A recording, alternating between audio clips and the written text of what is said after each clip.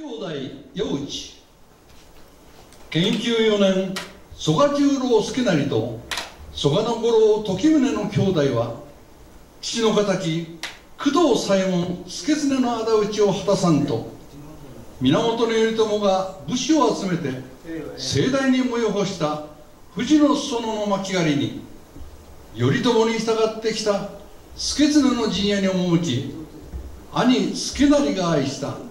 大磯の虎御前の手引きで助経の陣屋を襲い父の仇討ちを遂げた物語であります。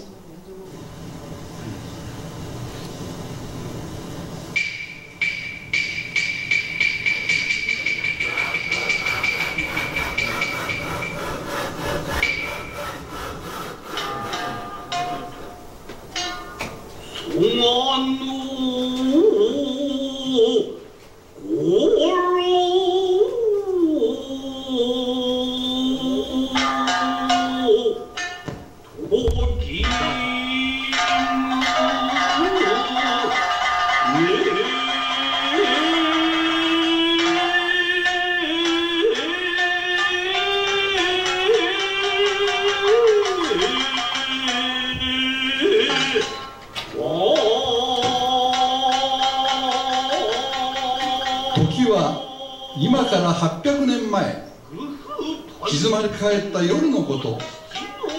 松明をかざして現れ出たるは蘇我の十郎と弟五郎の兄弟。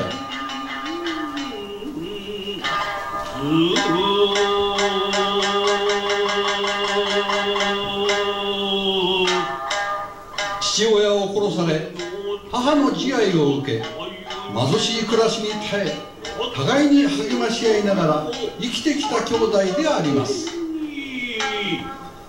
濡れてくる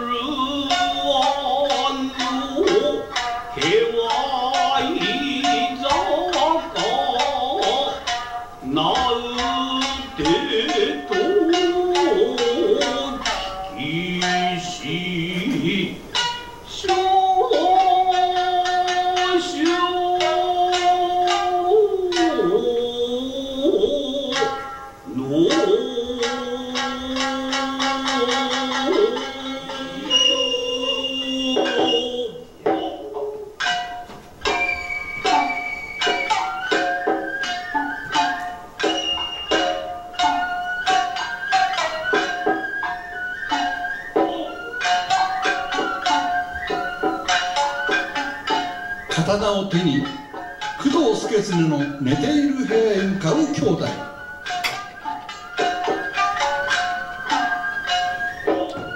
手引きするは兄十郎を愛する遊女虎御前。父を殺されて18年観難真苦に耐えて今日という日を待ちわびていた。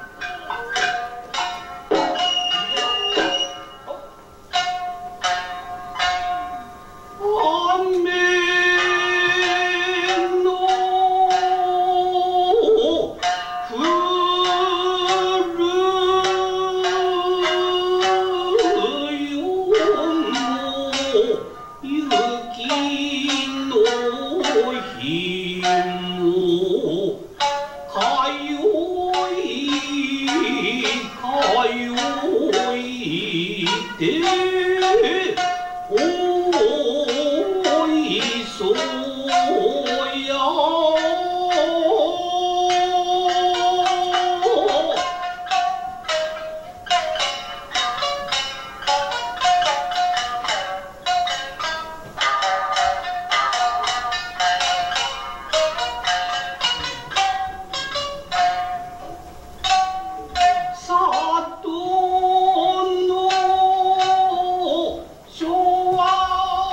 知らずに寝いる工藤祐経。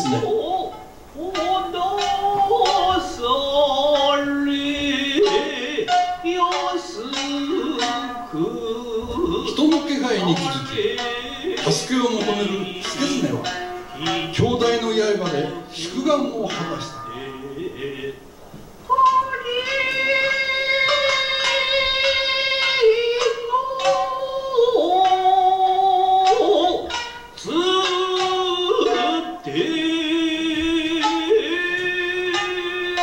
その後十郎助成は三田の城を忠常に討ち取られ弟五郎は頼朝の配下五郎丸に捕らえられ打ち首となった。時に兄22歳弟は二十歳であった。